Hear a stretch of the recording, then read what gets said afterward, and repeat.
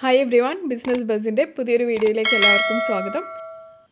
നിങ്ങൾ പ്രേക്ഷകർ Amazon selling സീരീസിന്റെ വീഡിയോസ് കണ്ടതിന് ശേഷം പലപ്പോഴായിട്ട് നമ്മുടെ ടെലിഗ്രാം ഗ്രൂപ്പിലൂടെയും അല്ലാതെ പേഴ്സണൽ വാട്സപ്പ് മെസ്സേജസിലൂടെയും ചോദിച്ചിട്ടുള്ള കുറച്ച് കോമൺ ആയിട്ടുള്ള സംശയങ്ങളുടെ മറുപടിയാണ് ഒരു വീഡിയോ ആയിട്ട് ഇന്ന് നമ്മൾ ചെയ്യുന്നത്.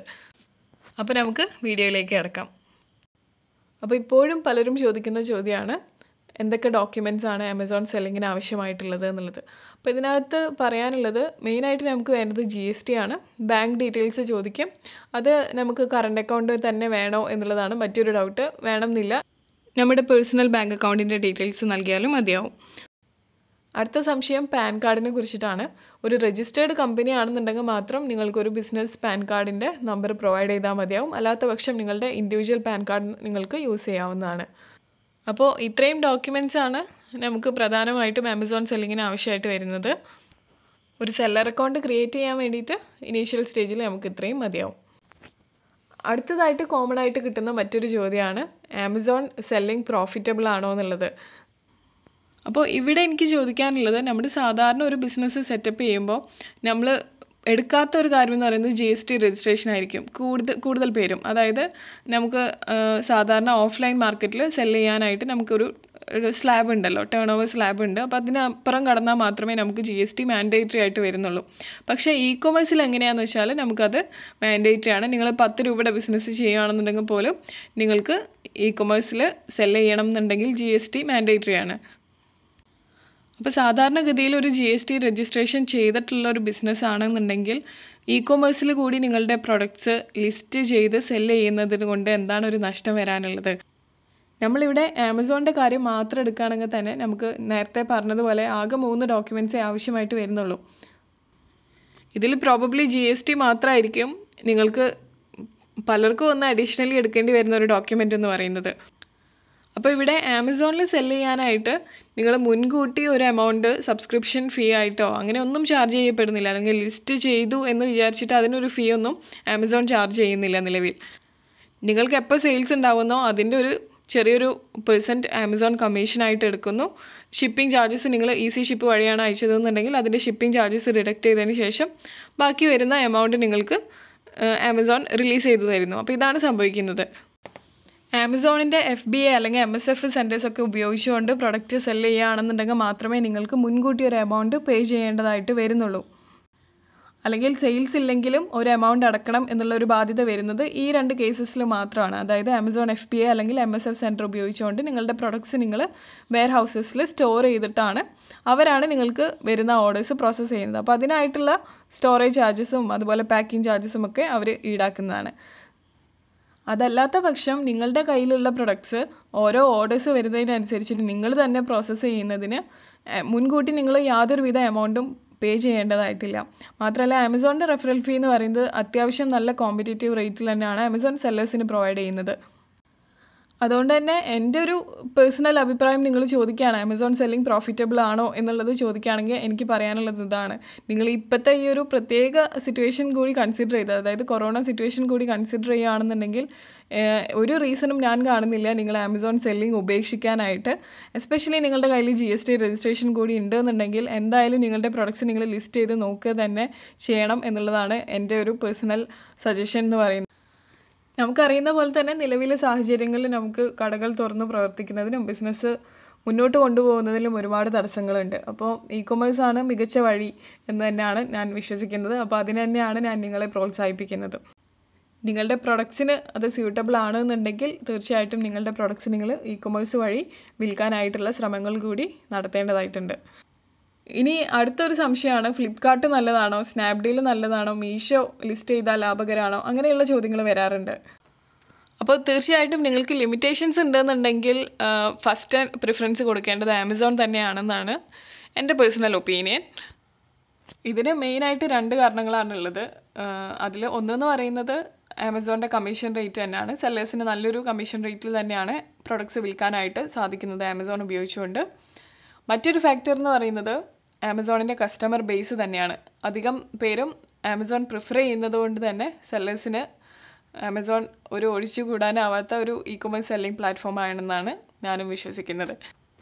കൂടാതെ ഒരു പുതിയ സെല്ലർ എന്ന രീതിക്ക് ആമസോണിൽ നിങ്ങൾക്ക് ഒരുപാട് അസിസ്റ്റൻസ് ലഭിക്കാനുള്ള സ്കോപ്പ് കൂടിയുണ്ട്. അതായത് നിങ്ങളൊരു ആമസോൺ സെല്ലർ അക്കൗണ്ട് ക്രിയേറ്റ് ചെയ്തിട്ട് എവിടെയെങ്കിലും സ്റ്റക്കായി എന്ന് തോന്നുകയാണെന്നുണ്ടെങ്കിൽ നിങ്ങൾക്ക് നിങ്ങളുടെ സംശയങ്ങൾ ചോദിച്ചറിഞ്ഞ് മുന്നോട്ട് പോകാനായിട്ടുള്ള സാധ്യതകൾ ഒരുപാടാണ്. കാരണം ആമസോണിന്റെ സെല്ലർ സപ്പോർട്ട് എന്ന് പറയുന്നത് അത്രയധികം നിങ്ങൾക്ക് ഹെൽപ്ഫുള്ളായിട്ട് വരുന്ന ഒരു കാര്യമാണ്. ഇനി ഇവിടെ നോക്കുകയാണെന്നുണ്ടെങ്കിൽ സെക്കൻഡ് പ്രിഫറൻസ് ഞാൻ ഫ്ലിപ്കാർട്ടിന് കൊടുക്കും. പക്ഷേ ഫ്ലിപ്കാർട്ടിന്റെ ഏറ്റവും വലിയൊരു ഇഷ്യൂ എന്ന് പറയുന്നത് അവരുടെ സെല്ലർ സപ്പോർട്ട് കുറവാണ് എന്നുള്ളതാണ്. അപ്പോൾ പുതിയ സെല്ലേഴ്സിന് ആദ്യമേ പോയിട്ട് ഫ്ലിപ്കാർട്ട് ഉപയോഗിക്കുന്നതിലും നല്ലത് ആമസോൺ ഒന്ന് പരിചയമായതിനു ശേഷം ഫ്ലിപ്കാർട്ടിലേക്ക് മൂവ് ചെയ്യുന്നതായിരിക്കും എന്നാണ് എന്റെ ഒരു പേഴ്സണൽ സജഷൻ ഫ്ലിപ്കാർട്ടിന്റെ ഒരു ഇഷ്യൂ എന്ന് പറഞ്ഞാൽ റെഫറൽ ഫീസും കമ്മീഷൻ റേറ്റൊക്കെ നമുക്ക് പിന്നെയും അഫോർഡബിൾ ആമസോണിനേക്കാളും കുറച്ചധികം കമ്മീഷൻ റേറ്റ് ഉണ്ടാവാൻ സാധ്യതയുണ്ട്. പക്ഷേ എങ്കിൽ പോലും അഫോർഡബിൾ ആയിരിക്കും. പക്ഷേ ഫ്ലിപ്കാർട്ടിലെ സെല്ലർ സർവീസിനെ കുറിച്ചിട്ട് എനിക്ക് അങ്ങനെ അത്ര വലിയ അഭിപ്രായമില്ല. നമ്മൾ ചോദിക്കുന്ന ഡൗട്ട്സിനായിരിക്കില്ല ചിലപ്പോൾ അവർ മറുപടി പറയുന്നത്. ചിലപ്പോൾ അവരുടെ ഭാഗത്തുനിന്ന് യാതൊരു റെസ്പോൺസ് ഇല്ലാതെയും ആയിട്ടുണ്ട്. അവസാനം നമ്മൾ തന്നെ എങ്ങനെയെങ്കിലും അത് കണ്ടുപിടിച്ച് മുന്നോട്ട് പോകേണ്ട അവസ്ഥകൾ ഉണ്ടായിട്ടുണ്ട്. ഇനി അടുത്തത് സ്നാപ്ഡീലിലേക്ക് വരാം. സ്നാപ്ഡീൽ എന്ന് പറയുന്നത് നിങ്ങളുടെ പ്രൊഡക്റ്റിന്റെ മൂല്യം അനുസരിച്ചിരിക്കും എന്നാണ് എനിക്ക് പേഴ്സണലി തോന്നിയിട്ടുള്ളൊരു കാര്യം. അതായത് നിങ്ങൾ അത്യാവശ്യം ഹൈ വാല്യൂവിലുള്ള ഒരു പ്രൊഡക്റ്റാണ് വിൽക്കുന്നതെന്നുണ്ടെങ്കിൽ സ്നാപ്ഡീലിന്റെ ലോജിസ്റ്റിക്സ് ചാർജ് തന്നെ ഒരു അത്യാവശ്യം നല്ല എമൗണ്ട് വരും. പലപ്പോഴും നമ്മളൊരു പ്രൊഡക്റ്റ് ലിസ്റ്റ് ചെയ്ത് കഴിഞ്ഞാൽ മാത്രമേ നമുക്ക് അതിൽ നിന്ന് എത്ര ആണ് നെറ്റ് പേയബിൾ ആയിട്ടുള്ളത്. അതായത് അവരുടെ ചിലവുകളെല്ലാം കിഴിച്ച് നമുക്ക് എത്രയാണ് എമൗണ്ട് കിട്ടുന്നത് എന്നുള്ളത് നമുക്ക് മനസ്സിലാക്കാനായിട്ടുള്ള ഓപ്ഷനുള്ളൂ അപ്പോൾ ഒരു പ്രൊഡക്റ്റ് നമ്മൾ ലിസ്റ്റ് ചെയ്ത് കഴിഞ്ഞാൽ അതിനകത്ത് നെറ്റ് പേയബിൾ എടുത്ത് നോക്കി കഴിഞ്ഞാൽ പലപ്പോഴും നെഗറ്റീവ് ബാലൻസ് വരെ വരാറുണ്ട്. സ്നാപ്ഡീലിന്റെ തന്നെ ലോജിസ്റ്റിക്സ് ഉപയോഗിച്ചുകൊണ്ടാണ് സ്നാപ്ഡീലിൽ പ്രൊഡക്റ്റ് സെൽ ചെയ്യുന്നത്.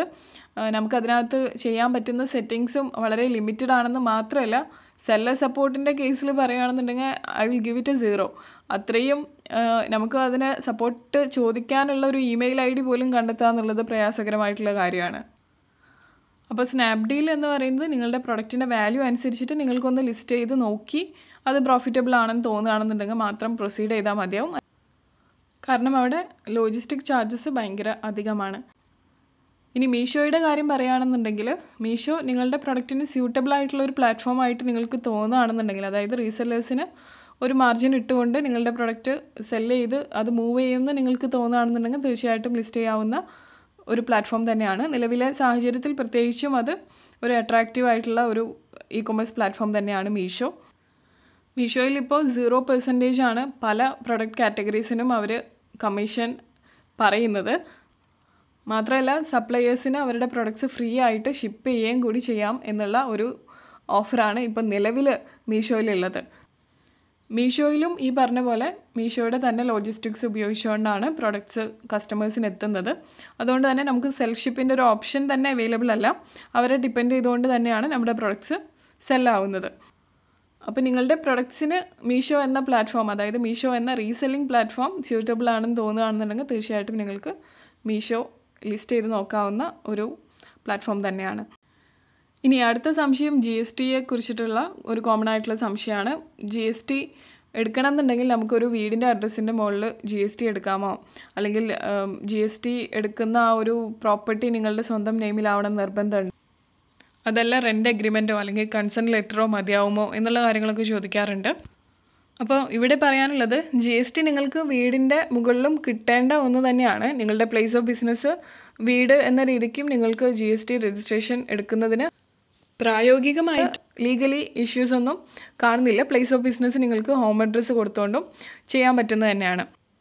പക്ഷേ നിങ്ങൾക്ക് ജി എസ് ടി രജിസ്ട്രേഷൻ എടുത്ത് തരുന്നവർ എത്രത്തോണ്ട് ഹോം അഡ്രസ്സ് കൊടുത്തുകൊണ്ട് ഒരു ആപ്ലിക്കേഷൻ സബ്മിറ്റ് ചെയ്യാൻ വില്ലിംഗ് ആണെന്നുള്ള കാര്യത്തിൽ മാത്രമേ എനിക്ക് സംശയമുള്ളൂ. അതല്ലാതെ ഹോം അഡ്രസ്സിൽ ജി എസ് ടി രജിസ്ട്രേഷൻ എടുത്തവരൊക്കെ എനിക്ക് പേഴ്സണലി അറിയാവുന്ന തന്നെയാണ്. ഇനി ഇവിടെ ഒരു കാര്യം ഞാൻ നോട്ടീസ് ചെയ്തിട്ടുള്ളത് പറയാനാണെന്നുണ്ടെങ്കിൽ ജി എസ് ടി രജിസ്ട്രേഷൻ നിങ്ങൾ എടുക്കുമ്പോൾ കൺസേൺ ലെറ്റർ വെച്ച് എടുക്കുന്നതിനേക്കാൾ കൂടുതൽ നമുക്ക് എളുപ്പത്തിൽ ലഭിക്കുന്നത് വീട് ആരുടെ പേരിലാണെന്ന് വെച്ചാൽ അവരുടെ നെയിമിൽ തന്നെ ജി എസ് ടിക്കായിട്ട് നമ്മൾ അപേക്ഷ നൽകുമ്പോഴാണ് അത് ഫാസ്റ്റായിട്ട് അപ്രൂവൽ ആയിട്ട് ലഭിക്കുന്നത്. അല്ലാത്ത പക്ഷം അത് കുറച്ചുകൂടി കോംപ്ലിക്കേറ്റഡ് ആയിട്ട് എനിക്ക് ഫീൽ ചെയ്തിട്ടുണ്ട്. അപ്പോൾ നിങ്ങൾക്ക് ആ ഒരു മെത്തേഡ് വേണമെന്നുണ്ടെങ്കിൽ ട്രൈ ചെയ്യാവുന്നതാണ്.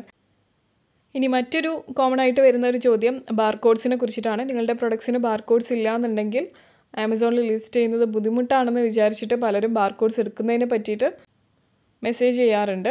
അപ്പോൾ അവരോട് എനിക്ക് പറയാനുള്ളത് ജി ടി ഐ എൻ എക്സംഷന്റെ ഒരു വീഡിയോ നമ്മൾ സെപ്പറേറ്റ് ആയിട്ട് തന്നെ ചെയ്തിട്ടുണ്ട്. G T I N exemption എന്ന് പറയുന്നത് ബാർകോഡ്സ് ഇല്ലാത്ത പ്രൊഡക്റ്റ് ലിസ്റ്റ് ചെയ്യാനായിട്ട് നമ്മൾ ആമസോണിൽ ഉപയോഗിക്കുന്ന ഒരു ഓപ്ഷനാണ് അപ്പോൾ ആമസോണിൽ ലിസ്റ്റ് ചെയ്യാമെന്ന് വിചാരിച്ചിട്ട് നിങ്ങൾ ബാർകോഡ്സ് എടുക്കേണ്ട യാതൊരുവിധ ആവശ്യവുമില്ല. ജി എസ് വൺ ബാർകോഡ്സ് എന്ന് പറയുന്നത് അത്യാവശ്യം എക്സ്പെൻസീവ് ആയിട്ടുള്ള ഒരു സംഗതിയായിട്ടാണ് ഞാൻ മനസ്സിലാക്കിയിട്ടുള്ളത്. അതുകൊണ്ട് തന്നെ ആമസോൺ ലിസ്റ്റിങ്ങിനായിട്ട് നിങ്ങൾ ബാർകോഡ്സ് എടുക്കേണ്ട യാതൊരുവിധ ആവശ്യവുമില്ല. പിന്നെ പലരും മെസ്സേജ് ചെയ്യാറുണ്ട് ഇ കൊമേഴ്സ് പ്ലാറ്റ്ഫോംസിലൊക്കെ അവരുടെ പ്രൊഡക്റ്റ് ലിസ്റ്റ് ചെയ്ത് കൊടുക്കുന്ന ഏതെങ്കിലും ഏജൻസിയോ അല്ലെങ്കിൽ സർവീസ് പ്രൊവൈഡേഴ്സിന്റെ നമ്പർ തരുമോ എന്ന് ചോദിച്ച് മെസ്സേജ് ചെയ്യാറുണ്ട്. അപ്പോൾ ഈ ഒരു ബിസിനസ് ബസ് ചാനലിന്റെ ഭാഗമായി തന്നെ നമ്മൾ കുറച്ച് e commerce marketplace related ആയിട്ടുള്ള സർവീസസ് ഓഫർ ചെയ്യുന്നുണ്ട്. ഈ സർവീസസ് എല്ലാം ഞങ്ങൾക്ക് ഓഫർ ചെയ്യാൻ പറ്റുന്ന ബെസ്റ്റ് പ്രൈസിൽ തന്നെയാണ് നിലവിൽ നമ്മൾ പ്രൊവൈഡ് ചെയ്തുകൊണ്ടിരിക്കുന്നത് നിങ്ങൾക്ക് സമയപരിധി ഉണ്ട് ഇതെല്ലാം പഠിച്ചെടുക്കാനോ അല്ലെങ്കിൽ സ്വയം ഇത് ചെയ്യാനായിട്ടുള്ള ബുദ്ധിമുട്ടുകൾ ഉണ്ടെന്നുണ്ടെങ്കിൽ തീർച്ചയായിട്ടും ഞങ്ങളെ ലിസ്റ്റിംഗ് സർവീസസിനൊക്കെ ആയിട്ട് കോൺടാക്റ്റ് ചെയ്യാവുന്നതാണ്. ഈ കാണുന്ന വാട്സപ്പ് നമ്പറിൽ നിങ്ങൾക്ക് തന്നെ മെസ്സേജ് ചെയ്യാവുന്നതാണ്. ഫസ്റ്റ്ലി നിങ്ങളുടെ പ്രൊഡക്റ്റിന്റെ കാറ്റഗറി എന്താണെന്നുള്ളതും എത്ര പ്രൊഡക്ട്സ് ആണ് നിങ്ങൾക്ക് ഇനീഷ്യൽ സ്റ്റേജിൽ ലിസ്റ്റ് ചെയ്യേണ്ടത് എന്നുള്ളതും അറിയിച്ചുകൊണ്ട് നിങ്ങൾ മെസ്സേജ് ചെയ്യാം. അതിനുശേഷം നമ്മൾ റെസ്പോണ്ട് ചെയ്യുന്നതായിരിക്കും. അപ്പോൾ first Q and A session നമുക്ക് ഇവിടെ വെച്ച് നിർത്താമെന്ന് തോന്നുന്നു. ഇതിന്റെ പാർട്ട് ടു കൂടി വരുന്നുണ്ട്. അപ്പോൾ അതിനേക്കായിട്ടുള്ള നിങ്ങളുടെ സംശയങ്ങൾ നിങ്ങൾക്ക് ഈ ഒരു വീഡിയോയുടെ താഴെ കമന്റ് ബോക്സിൽ ചോദിക്കാവുന്നതാണ്.